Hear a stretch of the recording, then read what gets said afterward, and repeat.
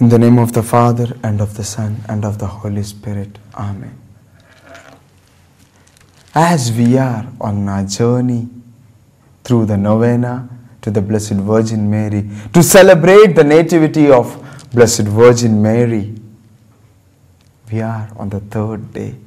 And on this third day, let us continue to meditate on Rosary. Rosary is a prayer that could be prayed any time, at any situation, at any circumstances of your life.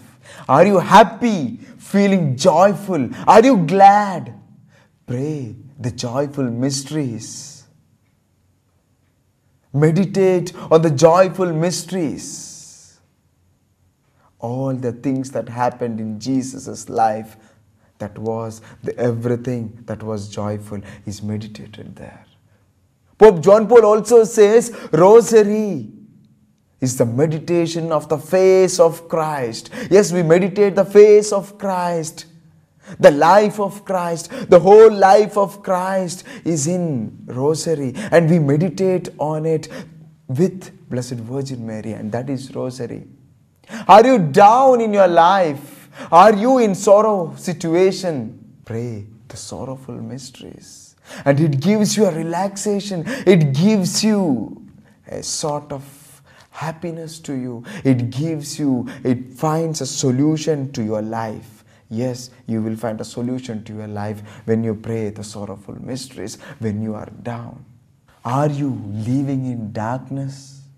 At times, have you felt there is no light in me? Jesus is the true light.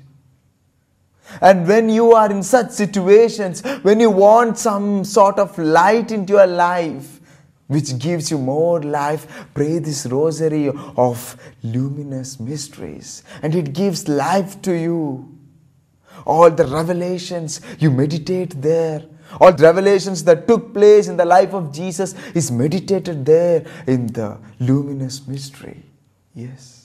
Are you in deathful situation? Are you over glad? Do you have any confusions in your faith?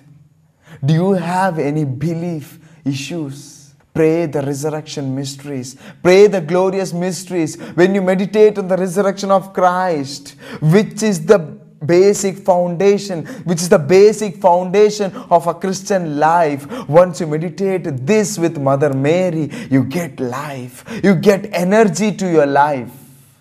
So, Rosary could be prayed at any situations of your life. Is someone dead? Pray the glorious mysteries. The one who believes in me will live with me. And all these promises are fulfilled in the glorious mysteries. Few days back, it was not too long, I was in a great distress situation. When I was in this great distress situation, as we all do, I too went to many priests for counselings. I also sat in front of the Blessed Sacrament and the one thing they advised me more and more was to pray rosary. Yes, you will have a solution when you pray the rosary.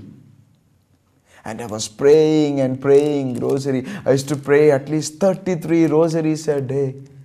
And after a month, I found no answer to my prayers. I called to one of my aunt who is in Sweden. Her name is Rosmi and I was explaining my situation and she also told me you pray the rosary. And i told her prayed a rosary for a, such a long time and i have not got the answer. And she told if you pray the rosary none of the as i've told before no one bead of rosary no one hail mary that you pray will be wasted or goes in vain. She will give you at the right time. She will intercede you. She is interceding for you always and she will give you at the right time. And she also explained to me, she also was sharing with me her experience, all the miracles that happened in her life through the rosary. As she was explaining, I got a hope.